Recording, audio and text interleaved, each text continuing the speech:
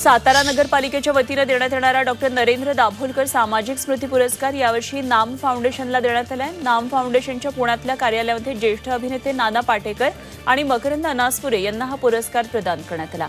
कोरोनाचे निर्बंध असल्यानं फक्त पंधरा लोकांच्या उपस्थितीमध्ये हा कार्यक्रम घेण्यात आला. मुंबईकरांसाठी लवकरच रेंट बाईक सुविधा सुरू होणार आहे. खासगी कंपन्यांनी याबाबतचा प्रस्ताव परिवहन विभागाकडे दाखल केला आहे शहरात सुरू असलेल्या मेट्रोच्या कामामुळे वाहतुकीची कोंडी टाळण्यासाठी हा प्रस्ताव मांडण्यात आला.